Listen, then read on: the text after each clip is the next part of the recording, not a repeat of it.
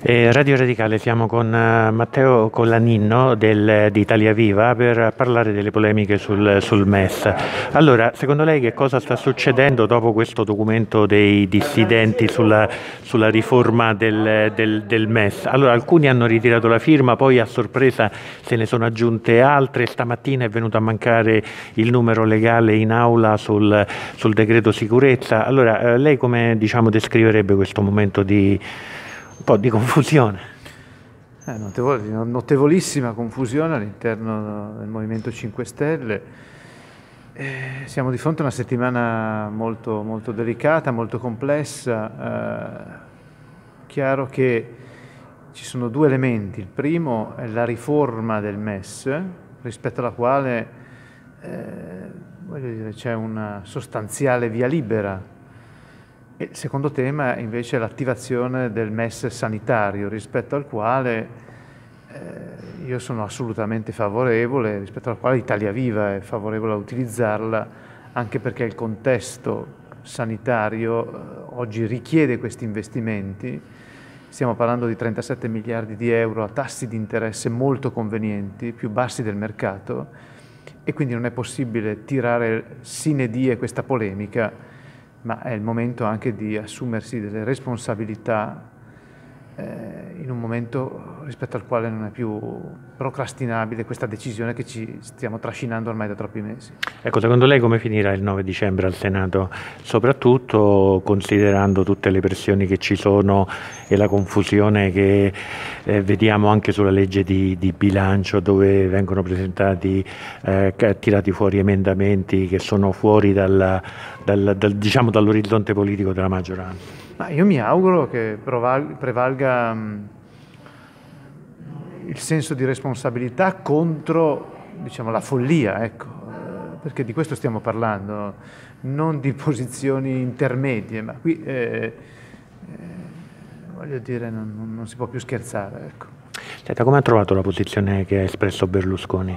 Cioè, eh, tutti sono rimasti un po' sorpresi, abbiamo visto oggi Brunetta anche sul foglio che è, è perplesso sulla posizione che ha assunto eh, Berlusconi. Allora, come la spiega? È stata una abile mossa politica per mettere in difficoltà la, la maggioranza oppure eh, ritiene che sia un, un, una, un'altra fase della politica di pressione per allargare e cambiare la maggioranza?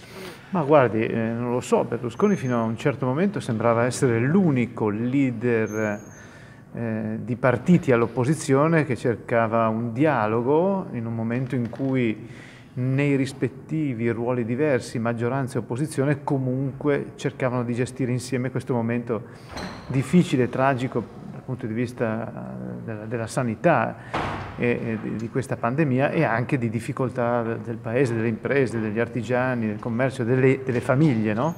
di fronte a questa crisi economica. Dopodiché c'è stata questa giravolta che francamente eh, ha sorpreso un po' tutti. Allora, fare tattiche così estreme in un momento come questo, sinceramente si sa da dove si comincia, ma mh, mm, poi non si sa dove si finisce. Bah, Salvini ha battuto un colpo e probabilmente questo colpo ha avuto questa risposta. Mm.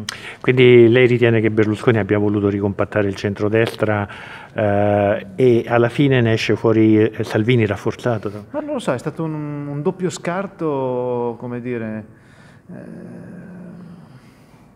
difficile da comprendere perché poi così ravvicinato. Ho capito. Senta, sullo sfondo resta secondo lei la discussione sull'allargamento della maggioranza o, alme o almeno i, i, nella versione più soft di, una, di un rimpasto? Ma guardi, io credo che oggi la concentrazione dei partiti di maggioranza che sostengono questo governo debbano essere essenzialmente rivolte a tre questioni. La prima, predisporre un'efficace azione di vaccinazione generale del Paese, così come stanno facendo tutti gli altri Paesi, rispetto alla quale Italia Viva ha posto un problema fin dall'inizio anche sull'utilizzo eh, della logistica delle, delle, dei professionisti delle forze armate dell'esercito. Secondo il tema della scuola, eh, quindi diciamo di gestire eh, gradualmente in sicurezza, inclusi i trasporti, le riaperture progressive eh, di, di, di, diciamo, di tutti gli ordini scolastici. terzo, eh, ma non ultimo, la questione economica, nel senso che molte, moltissime imprese eh, rischiano di arrivare a un punto di non ritorno. Tutto il resto è funzione di questo, quindi diciamo, la maggioranza deve essere in grado eh, di rispondere a questo tipo di priorità e a questo tipo di esigenza. Il resto è una conseguenza. Sì, ultima domanda, lei come spiega il fatto che lo spread sia così basso, eh, che la borsa regga abbastanza bene quello che sta accadendo in una fase particolarmente difficile, una crisi che è paragonabile forse a quella del 1929? Ma anzitutto va detto che i, i segnali forti eh, anche dei mercati e delle borse comunque sono giunti di recente quando la scienza sostanzialmente detto che eh, il tempo delle vaccinazioni è arrivato con eh, diverse multinazionali coinvolte, quindi è chiaro che eh, siamo di fronte ad una fase più o meno lunga, ma comunque di probabile uscita e risoluzione di questa crisi gravissima del coronavirus e questo chiaramente ha ridato fiducia sì. alla, certo. dire, alla, possibile ripresa economica. Va anche detto che eh, il terzo trimestre dell'anno per molte aziende è stato un terzo trimestre assolutamente positivo di eh, rimbalzo e di reazione dal, dal secondo trimestre, quello più pesante e quindi diciamo, questo ha anche, si è tradotto diciamo, nel, negli indicatori macroeconomici italiani e non solo in un fattore estremamente di fiducia. Tutto sta a vedere diciamo, questi prossimi mesi ancora di pandemia quanto possono durare e il fatto che oggi parlare di vaccini sia ormai diciamo, un dato di fatto è chiaro che tutto questo è in grado di generare più fiducia eh, anche sui mercati finanziari. Senta, eh, la sua risposta mi ha, mi ha indotto di fare un'altra domanda. Lei avrebbe sospeso diciamo, le, le quotazioni in borsa delle case farmaceutiche che producono il vaccino? Perché in questi giorni noi abbiamo visto una serie di effetti annuncio che hanno avuto anche degli effetti economici e molti hanno visto dietro queste cose anche il, diciamo, il, timore che il mercato possa agire su questo. Lei ha maturato una posizione su questo o non ha, non, non ha visto nessuna dietrologia? Ma guardi, gli effetti annuncio su fattori così grandi, forse i più grandi che possono essere annunciati in un periodo come questo, sono effetti eh, da valutare con molta attenzione, cioè ci credo poco all'annuncio senza sostanza.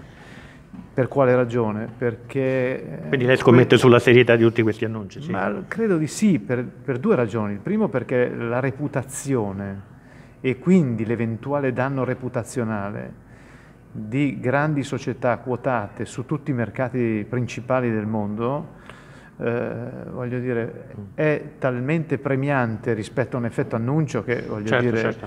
Eh, ris- rischierebbero un danno reputazionale con conseguenze devastanti sul piano finanziario, quindi ci credo poco.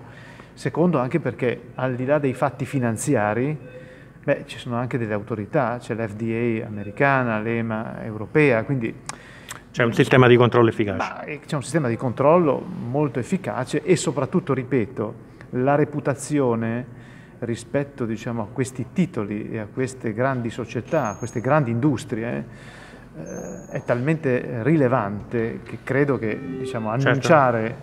fattori inconsistenti o rischio di inconsistenza sia talmente grave, non lo escludo, ma ritengo così a spanne che possa essere talmente grave da indurmi a pensare che non ci possano essere dietro dei, degli annunci meramente speculativi senza grande sostanza dietro, così, eh? senza certo. poi essere dentro le cose.